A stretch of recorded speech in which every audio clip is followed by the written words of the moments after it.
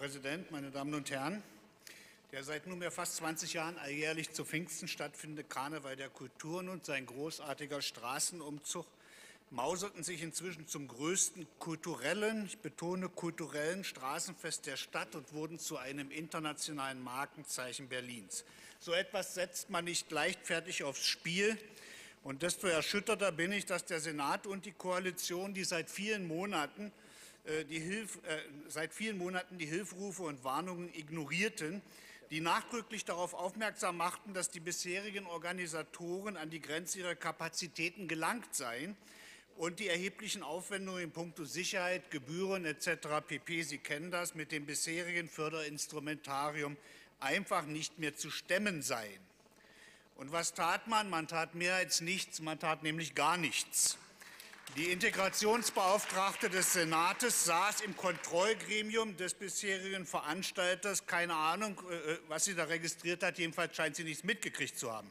Frau Kohlert hingegen teilte Anfang Januar mit, dass man sich von der Werkstatt der Kulturen als Veranstalterin getrennt habe, nachdem die Werkstatt allerdings ihrerseits erklärt hatte, dass sie zu den bisherigen Konditionen nicht mehr zur Verfügung stünde.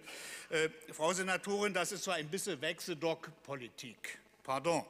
Dann, dann überraschten sie die Stadt mit der freudigen Nachricht, dass alles gut sei, weil für 2015 ihrerseits genauso viele Mittel zur Verfügung gestellt würden wie im vergangenen Jahr.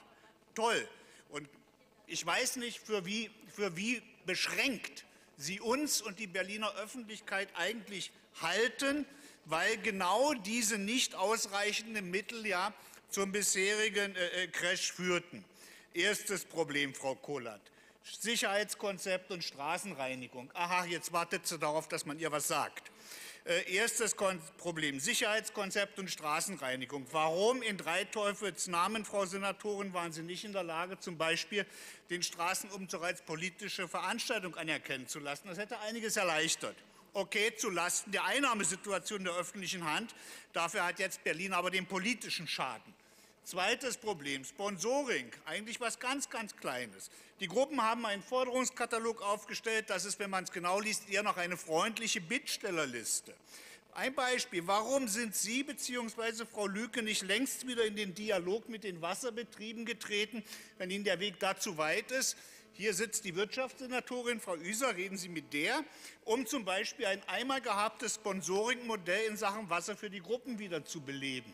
Manchmal fängt es im Kleinen an. Drittes Problem, der Veranstalter. Vor 14 Tagen kündigten Sie eine, Zitat, gemeinnützige GmbH an. Ganz, ganz geheimnisvoll.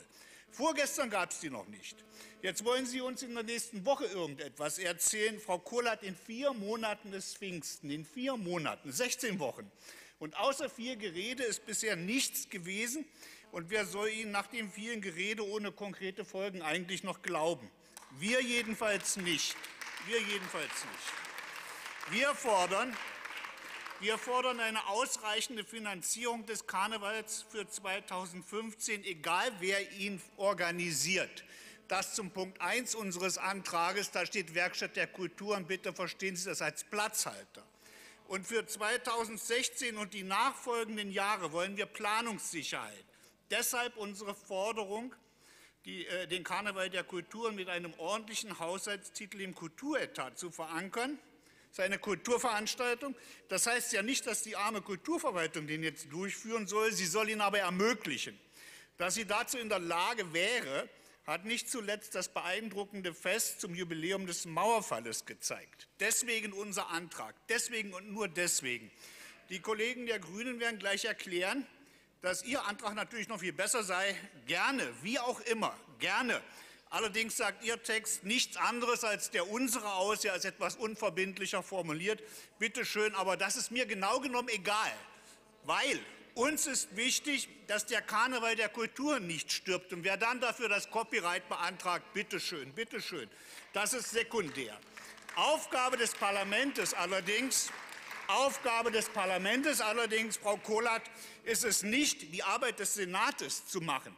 Gerne hätte ich geschlossen äh, mit dem Hinweis, bitte schön, Herr regierender Bürgermeister, Herr Müller, übernehmen Sie. Herr Müller ist nicht da, die Senatsbänke sind fast leer, sodass ich nur Dante zitieren kann, leicht persifliert, leicht persifliert, lass, der du Hoffnung auf den Senat setzt, alle diese Hoffnung fahren. Vielen Dank für die Aufmerksamkeit. Schön, aber